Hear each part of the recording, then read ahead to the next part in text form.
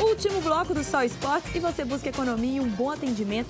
O Márcio Atacado te convida a fazer uma visita ou aquele orçamento sem compromisso. Lá você encontra diversos itens de papelaria, de decoração para sala, cozinha, quarto, de perfumaria e uma variedade de brinquedos. Além do mais, você pode comprar tanto no atacado quanto no varejo. Assim fica fácil, fácil.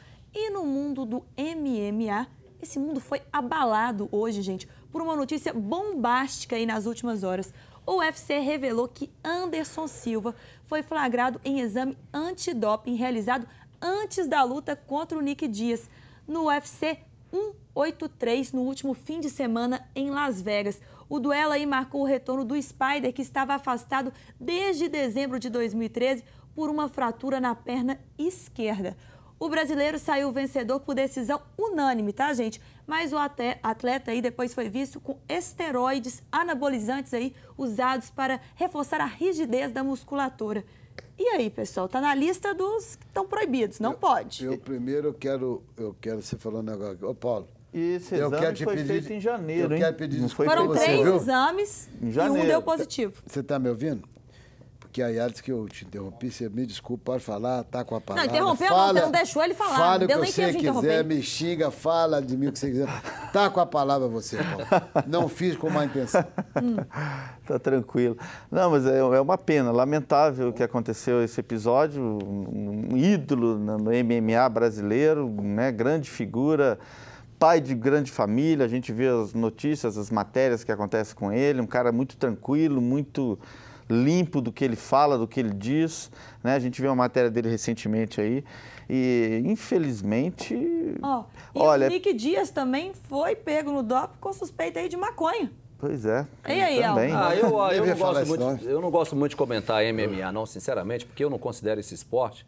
Eu não gosto de MMA. Acho esse negócio muito violento, muito chato. É pancadaria. E parece que quanto mais.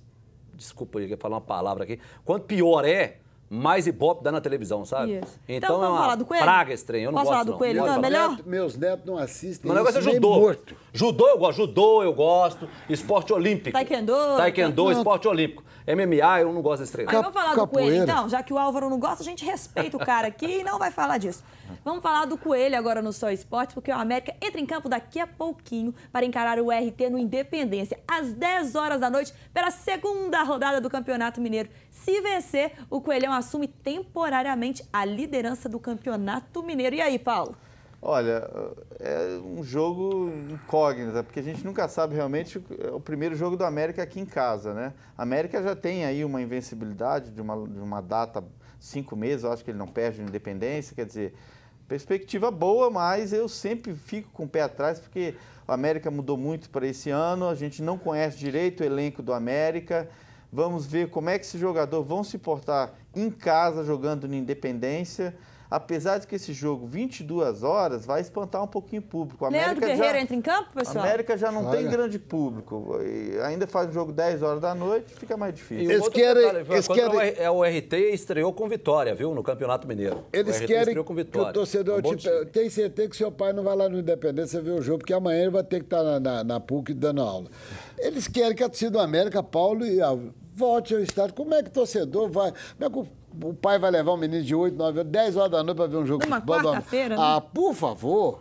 Ah, vai arrumar outro horário para jogo. A televisão também tem hora que é duro, viu? Ó, e vamos falar um pouquinho de vôlei, porque na Superliga, gente, o Minas perdeu para o SESI por 3 sets a 2 dentro de casa, com parciais de 21 25, 19 25, 25 23, 36 34 e 9 a 15. O SESI garantiu a vitória, então, aí no tie-break. E o Minas volta às quadras no sábado, quando enfrenta o líder Cruzeiro. Que parada, hein? Clássico, hein? Clássico. E eu fiquei com uma dó ontem, porque estava 2 a 0 recuperou e depois É, perdeu eu, no eu tie-break. assisti o jogo, mas o desgaste foi muito grande. Foi. O desgaste 36. do quarto set, 36 a 34, 34. foi muito grande. Então o tie-break já era para pra- já favorecia ao SESI. Por quê? Porque ele ganhou os dois primeiros sets, o Minas teve que se virar para poder empatar o jogo. O desgaste do quarto set foi muito grande. O SESI conseguiu se recuperar com mais rapidez e venceu o jogo. É Respeito- Sempre assim, quando o time tá ganhando 2x0, outro vai lá e empata, geralmente esse ganha, né?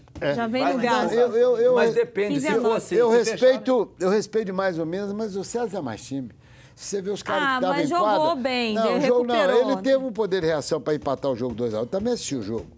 É, é, ele chegou a ter o médio ponto, eu acho que oito, nove vezes, e não conseguia fazer. Até que acabou empatando 2 a 2 Mas estava desenhado que perderia e hoje no tie Copa Libertadores, Corinthians e Once Caldas. Álvaro, Damião, o que esperar desse jogo? Corinthians. E você, Paulo?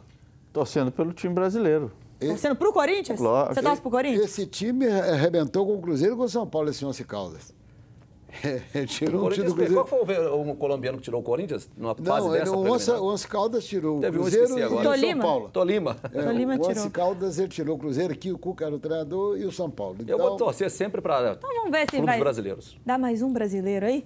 Ramon, muito obrigado. De nada. Álvaro, ao Paulo, você que está em casa, uma excelente noite aí. Descanse, veja o jogo aí do Corinthians. E amanhã tem muito mais Só Esportes. Ou do América, às 10 horas da noite também.